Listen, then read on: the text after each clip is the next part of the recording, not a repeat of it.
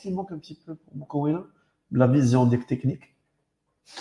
Ben, je, pense tout simplement que euh, les joueurs aujourd'hui euh, euh, vont comprendre son jeu de position, parce que le jeu de position, c'est un jeu qui demande une certaine réflexion dans le jeu, et qu'il faut qu'il puisse aussi répondre à ce côté, à ce défi physique, parce que son jeu de position demande aussi une très grande dépense énergétique, notamment dans la récupération du ballon parce que c'est quelqu'un qui, c'est un, entraîneur qui veut jouer très haut.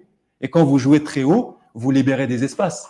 Et il faut récupérer le ballon très rapidement à la perte du ballon. Donc, tous ces principes de jeu mettent du temps à être compris. Et ça, c'est, ce que souvent le public ne comprend pas. Mais nous, nous rentrons aussi dans l'ère du digital.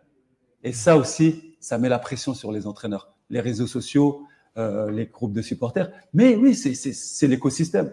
Mais je pense qu'on doit, on doit être euh, patient.